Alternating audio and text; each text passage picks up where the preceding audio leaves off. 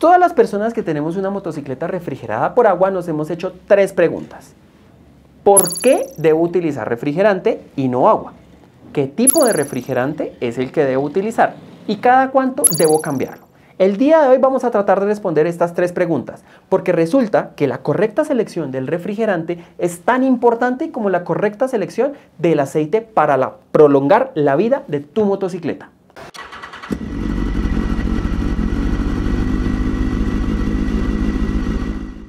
Este video ya lo habíamos subido al canal y lo tuvimos que desmontar porque cuando empezamos a ver las preguntas que hicieron algunas personas nos dimos cuenta de que el segundo tema o la segunda pregunta de cuál tipo de refrigerante debo utilizar no quedó claro. Entonces preferimos desmontarlo para dejar completamente solucionado cualquier inquietud sobre esa segunda pregunta que se generaba en este video. Así que si ya lo habías visto, este es diferente. Y si no lo has visto, quédate hasta el final. Este ha sido uno de los temas más complicados por la falta de información que hemos tenido que enfrentar en el desarrollo del canal. Así que espero que te guste. Para entender toda la información que te vamos a entregar en este video, debes verte sí o sí el video que entregamos la semana anterior o antepasada, no estoy seguro. Aquí te dejo la descripción. En ese video vas a encontrar el funcionamiento de un sistema de refrigeración en una motocicleta. Eso te va a permitir entender cuál es la función del refrigerante.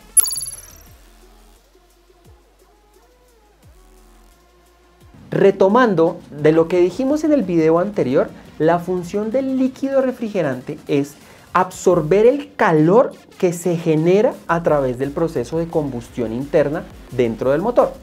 El refrigerante va a tomar ese calor y lo va a llevar hacia unos elementos que lo van a disipar, puntualmente el radiador. En este proceso vamos a necesitar que el líquido refrigerante tenga unas características muy importantes, las cuales deben ser que tenga un anticorrosivo, que a la vez tenga un anticongelante y que a la vez tenga un elemento que sea una especie de lubricante, ya que todo este, este refrigerante se va a mover a través de una bomba. Y el mismo refrigerante debe encargarse de lubricar esa bomba. Entonces, cuando les decía que vamos a contestar la primera pregunta, ¿por qué debo utilizar refrigerante? ¿Por qué no puedo utilizar agua? Pues resulta que el agua no tiene anticorrosivos, de hecho el agua es corrosiva, no tiene ningún elemento que sea anticongelante, de hecho el agua se congela a 0 grados centígrados y además no tiene ningún aditivo que sea un lubricante. Y adicionalmente el agua tiene un bajo punto de ebullición, para eso les voy a mostrar este aparatico. Este aparatico pues nosotros lo utilizamos para determinar la calidad del refrigerante. Ya les voy a mostrar cómo lo hacemos. Aquí tengo agua común y corriente.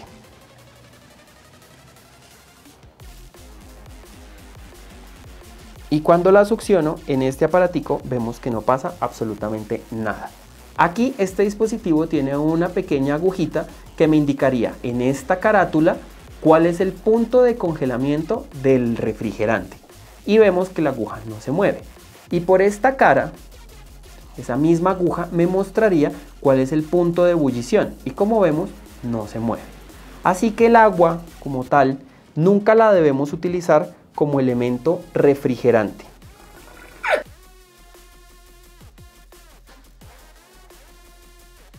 La segunda pregunta que nos hemos hecho es ¿qué refrigerante debo utilizar? Y esa es un poquito más compleja de contestar, porque podría llenar esta habitación de opciones de refrigerante de marcas de todas, de todo índole, de todo tipo, y no les podría responder exactamente. ¿Cuáles son esas características que debe cumplir?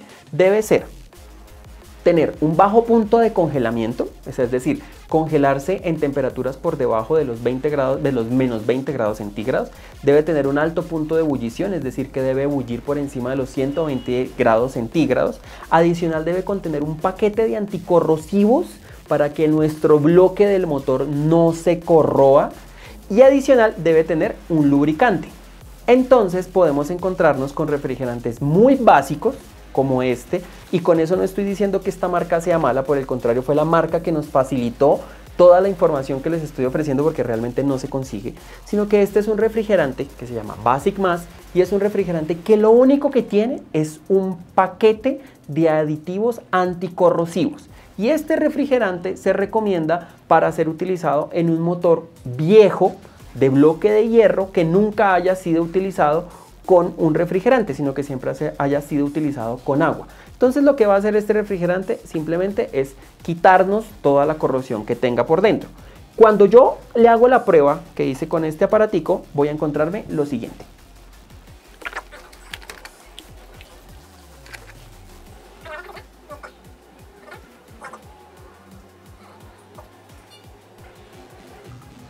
Vemos que nuevamente no pasa nada, porque resulta que este tipo de refrigerante es un refrigerante que solamente tiene un paquete de anticorrosivos. Aquí nuevamente la aguja no se movió para nada. Y este es un refrigerante que tiene un muy bajo valor en el mercado y que básicamente le va a servir a motores muy muy viejos. ¿Cómo lo vamos a encontrar o qué características tendría un refrigerante que no debemos utilizar en nuestras motos? Este tipo de refrigerantes pues no nos va a servir en nuestra moto porque simplemente tiene un paquete anticorrosivo. ¿Y cómo sabemos que no nos sirve? Porque cuando veamos la carátula, por ninguna parte va a decir que contiene glicol, ya sea etinglicol o alguno de los glicoles. Por ninguna parte va a decirlo. Entonces, este no nos sirve.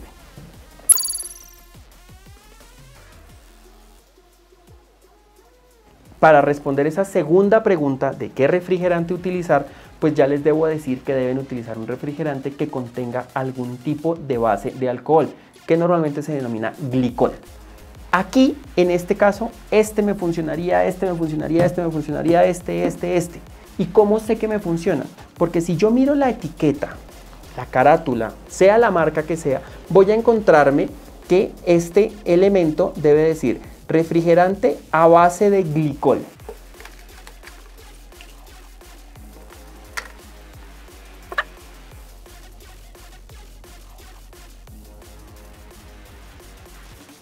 Este refrigerante, como podemos ver, ya me presenta alguna propiedad.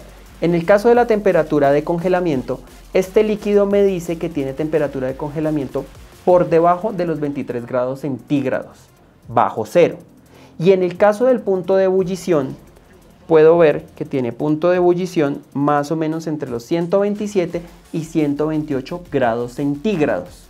Entonces ya sé que este refrigerante me puede dar un mejor punto de congelamiento y un mejor punto de ebullición. Además, ya viene con un paquete de aditivos anticorrosivos. Además, ¿por qué escogí este refrigerante de tapita verde? Porque si, les, si se dieron cuenta, la prueba anterior la hice con también un refrigerante de color verde. Y el color realmente no tiene nada que ver en los refrigerantes. Pueda que alguno que esté allá atrás me critique y me diga, ¿cómo que no? Que sí tiene que ver.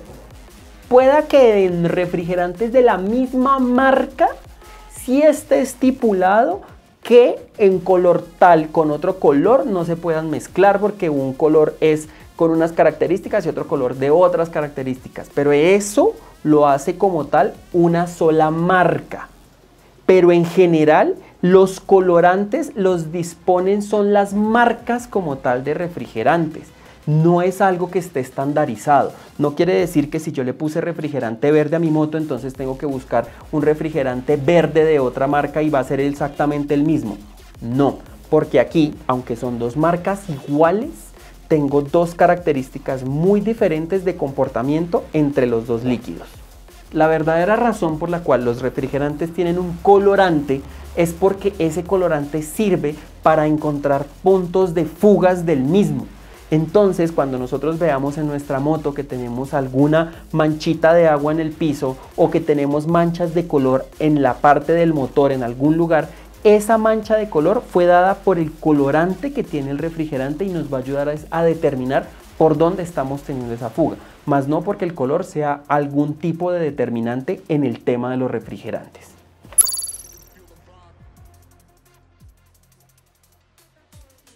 Aquí es donde viene la información que no quedó clara en el video anterior. Así que el refrigerante que vayamos a utilizar idealmente debería ser alguno que venga en su etiqueta pensado para motocicleta.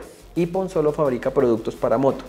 Este puntualmente de Motul dice Motocool, este de, Elf también dice Motocoolant, este de Hibari dice Motor Racing, ¿Y qué es lo que los hace tan especiales o particularmente importantes estos que vienen para moto?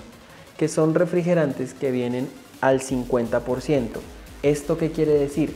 Que el 50% del contenido que está aquí es un refrigerante puro y el resto del 50% del refrigerante que está aquí ya viene diluido con un agua especial. Así que estos refrigerantes vienen listos para usar y en todos van a encontrar en alguna parte de sus etiquetas que dicen listo para usar. Ejemplo, no adicionar agua, listo para usar. Este también viene la misma, con la misma información, este también, este también aquí en su carátula en la parte posterior. Con esto lo que les quiero decir es que no es necesario que una vez que ustedes vayan a utilizar estos refrigerantes, entonces, ah, bueno, compré un litro, entonces pongo la mitad y el resto pongo agua. No, esto ya viene listo para usar. No es necesario que ustedes lo diluyan. Bueno, la otra, la otra situación es que no necesariamente van a conseguir un refrigerante que diga que es para motocicleta o que tiene en alguna parte el moto, ¿sí? Entonces, en esos casos, lo que deben buscar es un refrigerante de cualquier marca, pero que venga diluido al 50%, listo para usar. Hay muchas marcas que traen esa información. ¿Por qué se pide eso para motocicleta? Porque los motores en las motos de los motores de motocicleta eh, tienen una alta concentración de aluminio y de magnesio, a diferencia de los motores de carro. Entonces aquí hago una pequeña salvedad hay vehículos, hay carros y camiones que sus manuales de taller y sus fabricantes recomiendan líquidos refrigerantes al 17%, al 36%, al 45%, al 70%.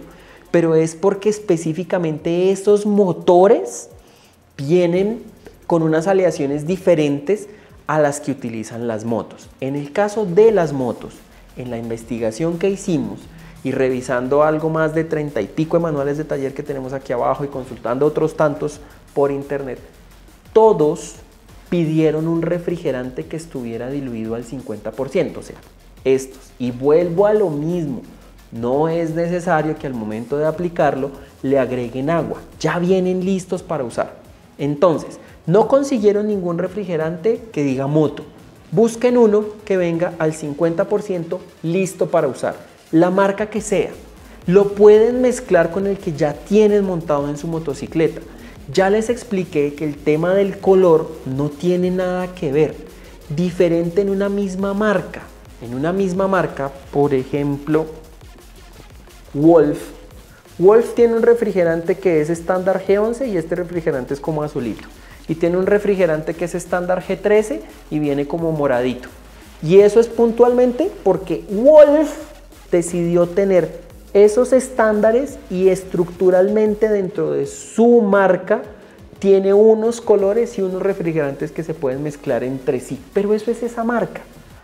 Estos puntualmente en esencia son lo mismo. Uno es amarillo, este es amarillo, este es amarillo, este es azul. Como ya les dije, ustedes pueden mezclar este amarillo con este azul y lo que me va a salir es un verde, pero no tiene que ver que es que tengo que utilizar el amarillito. No, eso es un tema que se, puso fue para encontrar fugas. Bueno, entonces no se enreden por el color. Eh, otra cosa súper importante, busquen refrigerantes que tengan punto de congelamiento por debajo de menos 24 grados centígrados y punto de ebullición hasta 136 grados centígrados. Este lo cumple, este lo cumple, este lo cumple, este lo cumple. ¿Por qué? Porque en las motos se concentra más calor que en los vehículos porque funcionan a mayor nivel de RPMs. Entonces utilizar un refrigerante que tenga un punto de ebullición más bajo va a generar que la moto o que el refrigerante, perdón, no sea capaz de absorber la misma cantidad de energía, de calor y va a hacer que eh, funcione el sistema mucho más caliente, que el motoventilador se encienda más seguido.